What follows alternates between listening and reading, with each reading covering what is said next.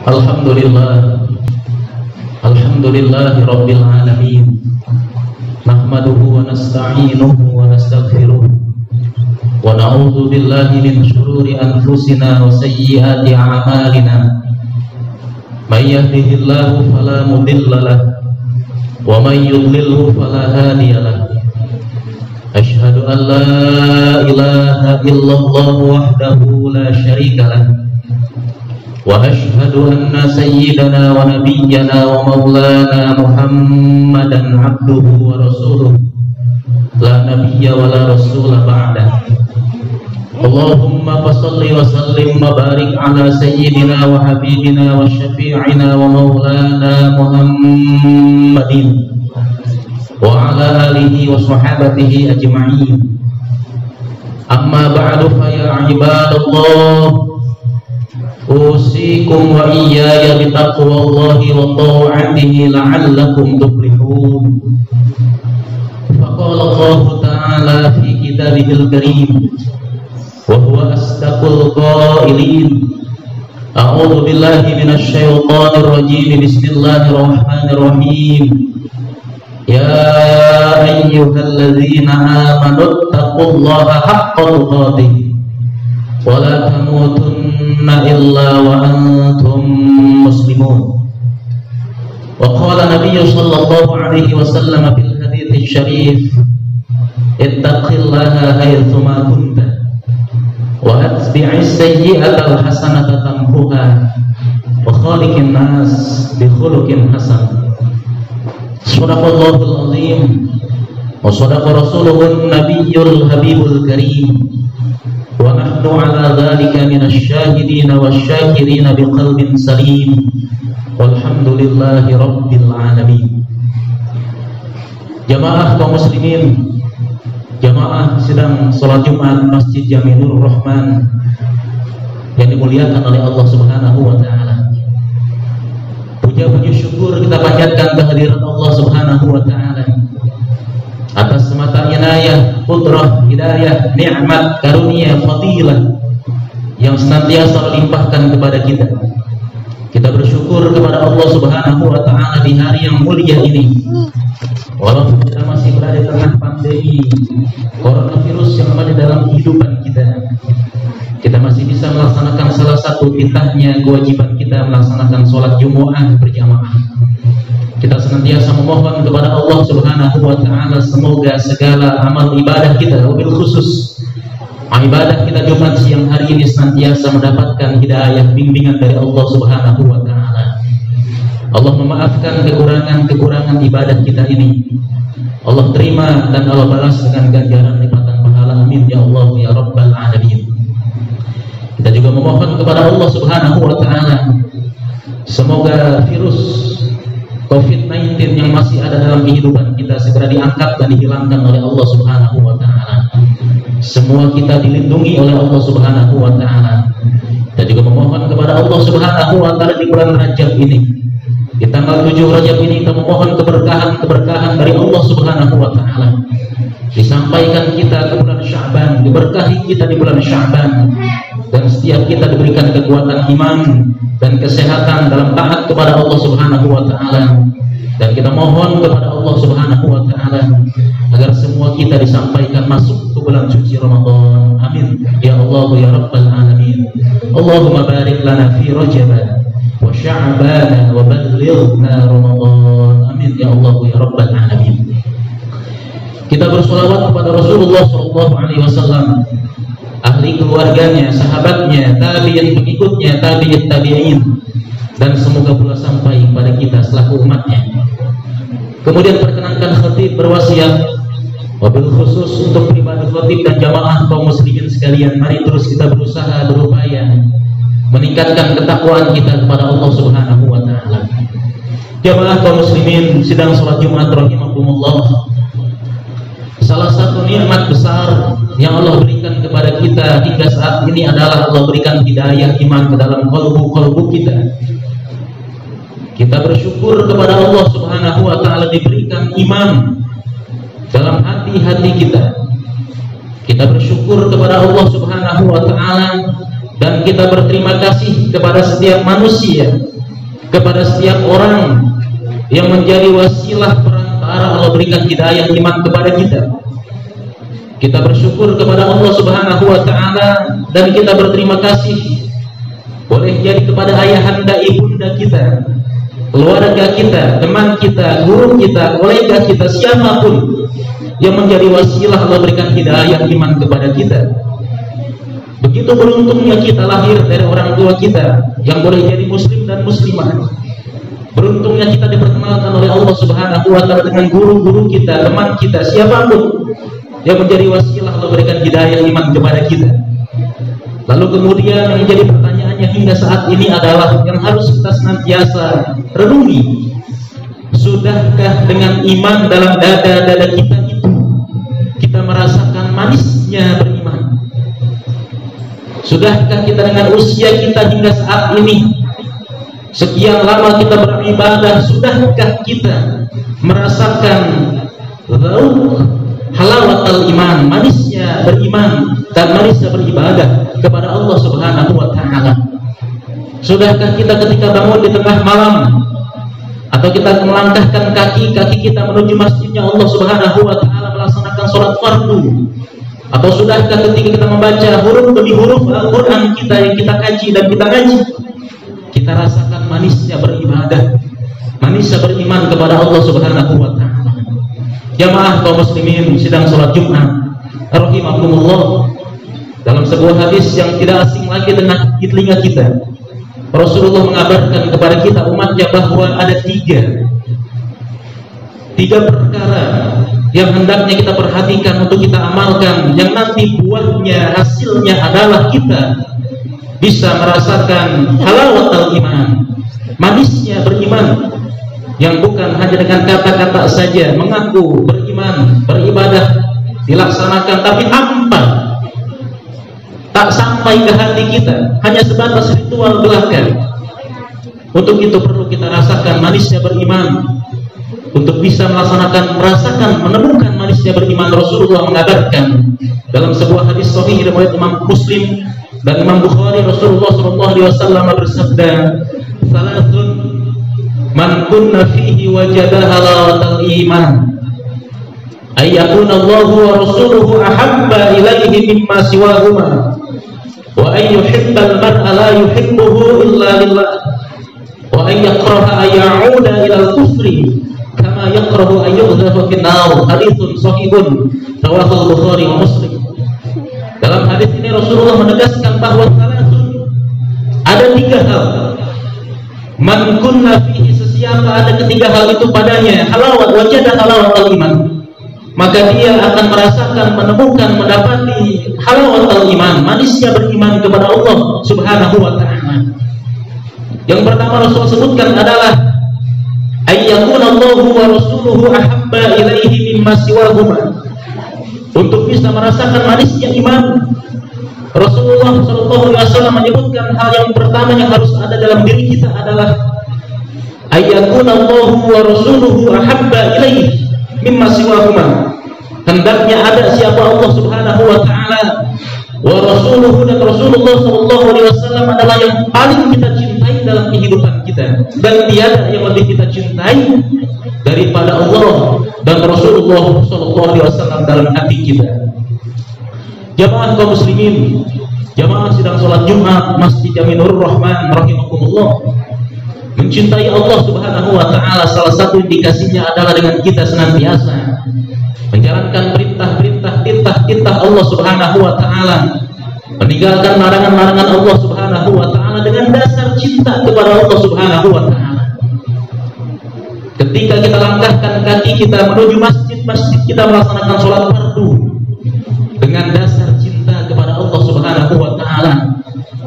ketika kita bangun di malam hari melaksanakan sholat sunnah tahajud misalnya. Dengan dasar mahabbah cinta kita kepada Allah Subhanahu wa taala. Bukan karena diperintah orang tua. Bukan karena disuruh oleh tetangga. Tidak enak dengan teman. Semuanya atas dasar landasan mahabbah kepada Allah Subhanahu wa taala. Maka pada saat itu kita akan merasakan halal iman kita akan mendapati menemukan halawat al-iman, manisnya beriman kepada Allah Subhanahu wa taala, lezatnya beribadah, bersungkur tersungkur di hadapan Allah Subhanahu wa taala. Jamaah dimuliakan oleh Allah Subhanahu wa taala. Kemudian cinta kepada Rasulullah sallallahu alaihi wasallam yang memang tidak akan sempurna keimanan kita sebelum kita menjadikan Rasulullah sallallahu alaihi wasallam sebagai yang paling kita cintai dalam kehidupan kita. Rasul tegaskan juga dalam hadis, "La yu'minu ahadukum hatta akuna ahabba ilaihi min waladihi wa walidihi wa nafsihi wa nasi ajma'in." Tidak sempurna salah seorang kalian imannya sehingga aku lebih dia cintai daripada anaknya, orang tuanya, bahkan dirinya dan seluruh manusia adanya. Jamaah yang dimuliakan oleh Allah Subhanahu wa taala berbicara masalah cinta kepada Rasulullah sallallahu alaihi wasallam maka para sahabat-sahabat Rasulullah lah yang paling begitu besar cintanya kepada Rasulullah SAW. Patut kita contoh bagaimana para sahabat mencintai Rasulullah SAW. Karena mereka memang hidup bersama Rasulullah, membersamai Rasulullah dalam kehidupan mereka. Mereka mengorbankan jiwa raga, harta, keluarga, tanah kelahiran demi Rasulullah SAW. Dan bukan hanya kalangan kaum kala itu mengakui betapa besarnya cinta sahabat kepada Rasulullah SAW Kisro Kisro di Persia. Kaisar Kaisar di Romawi kala itu pun mengakui. Bahkan Abu Sufyan sebelum masuk ke dalam barisan kaum muslimin mereka mengakui bahwa begitu besarnya cinta sahabat Muhammad kepada Muhammad kala itu. Mereka rela menggantikan posisi Rasulullah SAW kala itu yang taruhannya adalah nyawa sampai kemudian keluar dalam ungkapan Abu Sufyan kala itu mengatakan dengan lisannya ma raaitu ahadan yuhibbu ahadan kahubbi ashabi Muhammadin Muhammadan. Belum pernah aku melihat seseorang yang begitu besarnya cintanya kepada orang lain melebihi besarnya cintanya sahabat-sahabat Muhammad kepada Muhammad. Ma raaitu ahadan yuhibbu ahadan kahubbi ashabi Muhammadin Muhammadan Jamaah yang dimuliakan oleh Allah Subhanahu wa taala. Lalu bagaimana dengan kita yang hidup jauh berabad-abad kemudian kita hidup di zaman setelah Rasulullah SAW mencintai beliau. Dalam sebuah hadis yang didoifkan beberapa ahli hadis, Rasul pernah menyatakan bahwa man ahya sunnati faqad ahabbani wa man ahabbani kana ma'i fil jannah.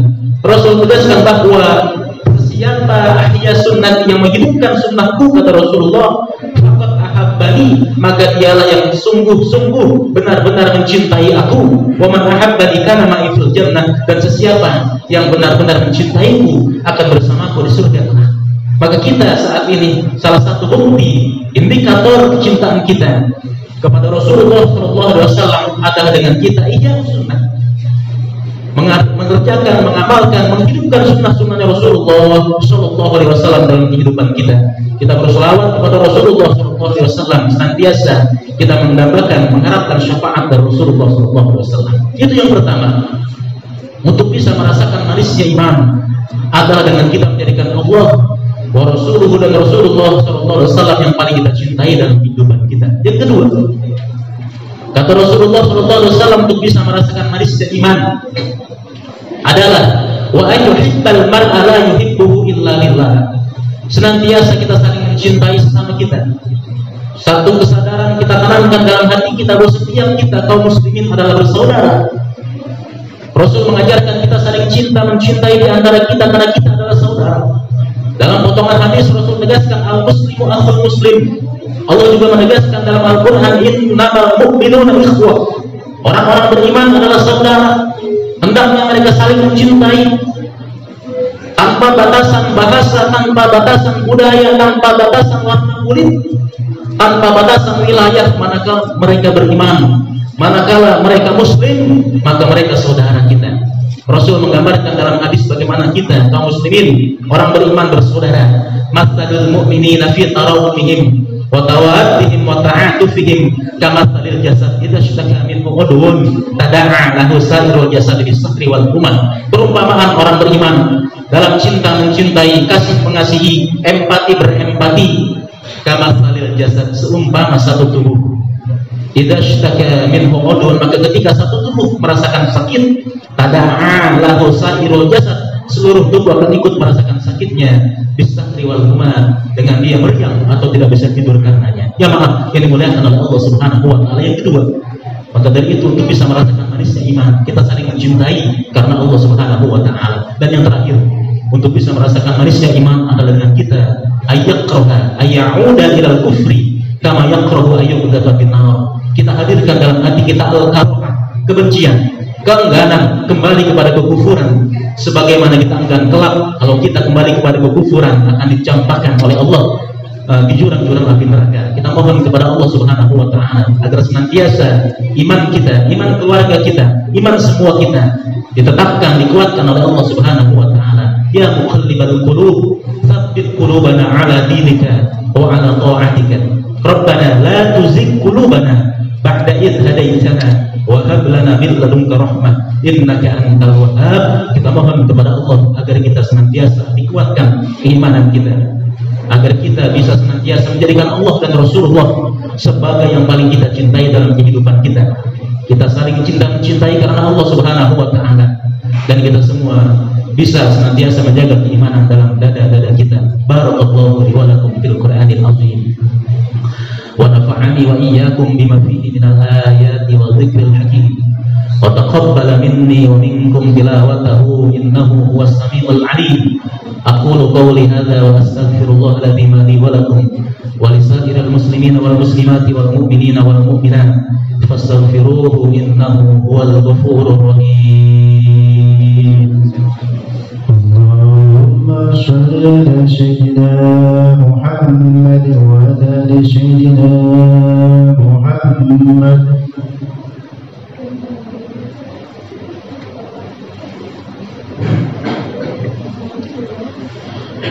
الحمد لله الحمد لله حمدا كثيرا كما أمر أشهد أن لا إله إلا الله وحده لا شريك له إرغاما لمن جحد به وكفر وأشهد أن سيدنا ونبينا ومولانا محمدا عبده ورسوله سيد الخلائق والإنس والبشر اللهم صل وسلم وبارك على سيدنا وحبيبنا وشفيعنا ومولانا محمد وعلى آله وأصحابه أجمعين أما بعد فيا عباد الله أوصي نفسي وإياكم بتقوى الله وطاعته لعلكم تفلحون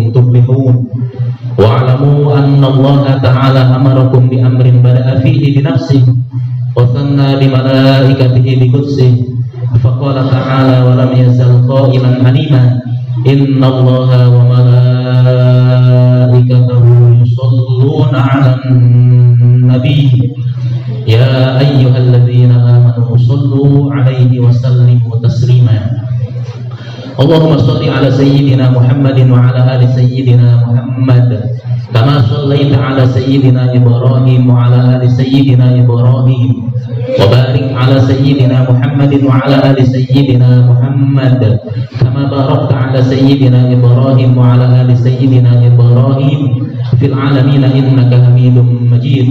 ورد الله عن الخلفاء الراشدين ساداتنا أبي بكر وعمر وعثمان وعلي وعلى بقية الصحابة وعلى التابعين وعلى التابعين التابعين ومن تبعهم بإحسان إلى يوم الدين.